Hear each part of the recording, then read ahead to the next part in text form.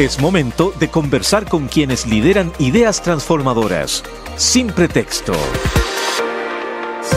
Una de la tarde con siete minutos. Francesco Tonucci, pedagogo italiano, nos recuerda que los niños y niñas son muy importantes para las ciudades. Antes jugaban en las tardes hasta que oscurecía, ¿no es cierto? En la calle o en la plaza cercana, pero Ahora eso ha ido cambiando. Hay un cambio y queremos abordarlo. No te juntes con nadie, dicen. No hables con extraños. No saques la bici de casa para que no te la roben. Traspasándoles, no sin cierta razón, nuestro miedo a la ciudad. ¿Qué efectos tiene esto en niñas y niños? Se lo preguntamos a nuestra columnista de hoy, Joan McDonald, Premio Nacional de Urbanismo 2022, la primera mujer en lograr este reconocimiento otorgado por el Ministerio de Vivienda y Urbanismo y docente del máster integrado en, diseño arquitectónico de la Escuela de Arquitectura de nuestra universidad. Joan, un gusto de tenerte con nosotros nuevamente. Joan. A ver, parece que vamos a tener que retomar el contacto con Joan McDonald, que está al teléfono. Ya, recordemos además de su carrera, ella tiene, ella fue egresada de la Universidad Católica, ha estado su carrera marcada por un alto compromiso con el mejoramiento del hábitat popular, mediante estudios, diseño de políticas y planes para asentamientos y barrios vulnerables en Chile, como también en Latinoamérica y ciudades en África y Asia. Su rol en nuestro país la llevó a ser subsecretaria del Ministerio de Vivienda y Urbanismo entre 1990 y 1994 durante el gobierno de Patricio Elwin. Y por eso queremos conversar con ella, ella es nuestra columnista, columnista de nuestro programa, porque nosotros queremos eh, conocer distintos enfoques del urbanismo y del urbanismo sustentable. Y ahí sí que estamos con eh, Joan McDonald. Joan, ahora sí, ¿cómo estás? Gracias por estar con nosotros esta tarde. A ver si, ahora sí parece que nos podemos comunicar. Sí, Súper. Es un tema muy lindo el de los niños y la ciudad y ya, pues. Francesco Tonucci lo toma con mucha seriedad. Eso, partamos A ver si podemos conversar sobre eso un poquito. partamos entonces. ¿Por qué las niñas y niños son importantes, Joan, para las ciudades? Bueno, los niños y niñas son, son fundamentales para darle alegría a la ciudad, pero y, hacerla viva y hacer que las plazas y las calles tengan algún tipo de vida, ¿no? Sin los niños eh, es difícil hacerlo, pero sobre todo lo que preocupa a Tonucci y a, y a, nosotros los urbanistas es que si los niños no, no salen de sus casas, no conocen la ciudad, es difícil que después sean buenos ciudadanos porque es en ese ejercicio de, de los juegos infantiles, en las plazas, en, en toparse con ese perro de la esquina que uno no se esperaba que le mostrara los dientes, manejar los imprevistos, los riesgos, organizar el espacio y el tiempo, todas esas cosas se aprenden desde chiquitos. Entonces, si vamos a tener probablemente si no nos preocupamos de, realmente hacerlos vivir la ciudad, vamos a tener eh, ciudadanos bastante poco activos y quizás un poco autónomos, ¿no? Dependientes. en el futuro. por eso que... nos preocupa eso que Tonucci dice, lo principal que uno aprende en la se, se aprende jugando cuando niño y, y entonces hay que empezar ya, ¿no? Eh, Joan, lo que plantea Tonuki se contrapone, dirías tú, con la mirada más bien adultocentrista que predomina, donde solo los mayores parecen desarrollar y habitar la ciudad. Sí, los mayores poco a poco con este miedo a la a la inseguridad, ¿no? Están protegiendo a los niños, pero se les pasa la mano un poco, los sobreprotegen. Yo diría que uno, si uno observa, por ejemplo, el portón de entrada de una escuela, en la mañana uno ve que los padres, niños bastante grandes que bien podrían bajarse del auto a media cuadra y caminar hasta la escuela, pero los van a dejar hasta la misma puerta, con, proyectando sus propios temores probablemente, cuando los niños son bastante más capaces de manejar el, los peligros e imprevistos que lo que nosotros suponemos, ¿no? Y, y en una sociedad y en un momento tan complicado en que los niños están más solos que nunca, la verdad, porque pues. las, las familias tienden a achicarse en las ciudades, uno tiene, generalmente las parejas tienen uno o dos hijos, pocos hermanos con los cuales jugar. ¿Para qué decir esas casas de antes en que vivía una abuelita, un tío y los primos y entonces uno ya tenía un grupo importante en la propia casa, ¿no?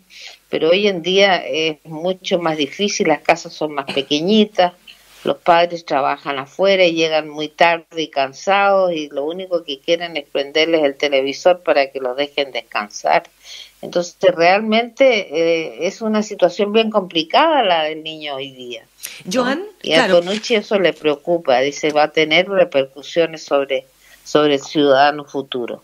Sí, pues eso es lo que te quiero preguntar. ¿Qué tipo de repercusiones podrían, eh, digamos, tener las personas que habitan de esa manera la ciudad cuando son niños? Cuando son niños. Bueno, falta de autonomía en términos de, tomar decisiones, ¿no? Inseguridad en, en, los espacios públicos. Uno puede diseñar espacios públicos más amables y nos dimos cuenta que después del COVID eso era muy importante, que las ciudades fueran más acogedoras, en fin. Entonces, bueno, la primera reacción de, de los urbanistas, los arquitectos, los, los planificadores físicos es es eh, mejorar, hacer más gratos los parques, las, las, avenidas, los lugares donde la gente se encuentra. Pero eso no basta, ¿no? Es importante tener buenos parques, pero también hay, es importante trabajar ese otro lado del ciudadano que quiere usar los parques, ¿no?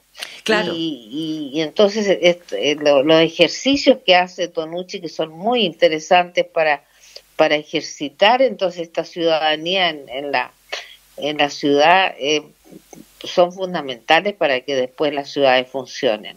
Sí, conversamos a esta hora con Joan McDonald, Premio Nacional de Urbanismo 2022. Joan, em, quiero preguntarte lo siguiente, porque claro, hace décadas uno podía ver una tremenda cantidad de niñas y niños jugando en el espacio público y ahora todo se hace adentro del hogar. ¿Tú crees que todo esto se puede leer desde el punto de vista de la agenda de seguridad o también desde el urbanístico? Sí, la seguridad es fundamental, la gente tiene terror, eh, se le inculca, mira, cuando en los, eh, Tonucci dice los cuentos infantiles, el peligro estaba en el bosque y el lobo era el que nos acechaba y si uno lograba llegar a la aldea estaba seguro, ¿no? Porque ahí estaba su casa, ahí estaban las casas de, los, de, la, de, la, de las otras personas, pero ahora ese bosque eh, terrible que produce miedo y el lobo parece que fueran fuera la ciudad y nuestros vecinos. Ese es un cambio muy, muy complicado que, que tenemos que evitar, ¿no? Hay que revertir esa situación. Em, el, miedo, el miedo en sí empieza a generar, ¿no es cierto?, situaciones de peligro y el peligro genera el miedo y se quiere. Entonces surge un círculo vicioso que es complicado. Nadie, nadie debería participar en esta situación. Las plazas debe, por eso que Tonucci cuando organiza mm. sus proyectos, eh, por ejemplo, a la tercera edad le pide, miren, estos proyectos de, de que los niños vayan a, concurran a la escuela por, por su cuenta y caminando, les pide a los adultos mayores, siéntense en las plazas, ocupen el barrio, ¿no? Estén ahí simplemente, es el único, el, el, el solo hecho de que uno vea que la plaza está llena de gente, de padres, de, adolescentes, en fin, en fin, crea una sensación de seguridad en el niño que le va a ayudar a, comportarse de una forma más asertiva y más autónoma también. Claro. Entonces eh, hay que romper ese círculo vicioso del miedo a la inseguridad, de la inseguridad al miedo y tratar de crear una ciudad que funcione más, eh, más, más eh, interactúen más los ciudadanos. ¿no? Exactamente. Y eso requiere de parte del municipio un, un esfuerzo que es interesante. El, el, el trabajo de, de Tonucci con, en, la, en la ciudad de Fano, en, en, en Italia, eh, se reproduce aquí en varios, en varios eh, municipios. Desgraciadamente no hay mucha perseverancia en estos ejercicios y generalmente se realizan una o dos veces y después se dejan de lado. Pero si pudiéramos realmente incorporar en la agenda municipal una actividad, digamos, como una vez al mes, por ejemplo, organizar este tipo de, de encuentros ciudadanos con los niños sería estupendo para ir corrigiendo las cosas. ¿no? Mira, eh, fíjate, es perfectamente posible. Claro. Mira, Joan, yo eh, que tengo familia viviendo, bueno, en Alemania y en Suiza, los niños muy chiquititos, o sea, te digo, seis años ya los, les enseñan a irse solos a la, del, de la casa al colegio y del colegio a la casa. Y estaba leyendo acá que Tonuki organizó un proyecto llamado A la escuela vamos solos en la ciudad de Fano, esta vez que a la costa del mar Adriático, 60.000 habitantes, para que los niños de, la, de la básica, hablemoslo así, pudieran ir y volver solos caminando a su colegio como sucedía antes. ¿Cómo fue esa experiencia? Mira, es bien interesante. Ve una, la ciudad de Fano es una ciudad pequeña, como, bueno, más o menos mediana, ¿no?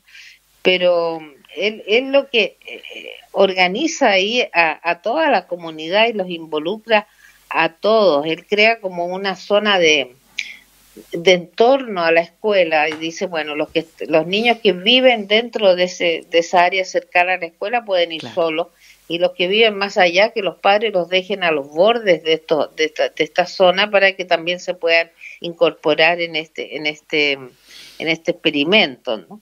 Y la idea es que vayan caminando sin sus padres eh, y, pero sí acompañados por, unas, por, por el barrio entero. Organizan, por ejemplo, el comercio em, local, de modo que estén atentos a las personas que atienden en ese comercio, si hay un chico que necesita ayuda, que necesita ir al baño, por ejemplo, le presten todas las facilidades del caso.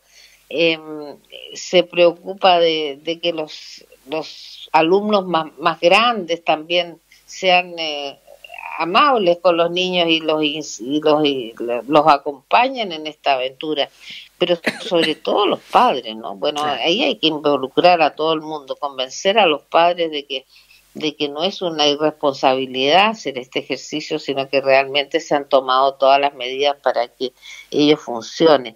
No, no se lee del, del, de este experimento un éxito rotundo, porque es una ventana que se abre en un momento que si no se repite más adelante no, no crea la habitualidad que de un, de, una, de un uso ciudadano muy específico, pero indica que por ahí va la cosa, ¿no? De que hay que insistir, que hay que buscar y, y, repetir, ojalá, este ejercicio en, con una frecuencia determinada para que eh, para que se vayan cambiando los hábitos. Es una, como digo, abrió una ventana, hizo que la gente entendiera lo que Tonucci piensa, pero evidentemente no basta, ¿no? Hay que crear una, una, un, cambio más sustantivo en los ciudadanos que ocupan un barrio y eso eso es muy muy importante.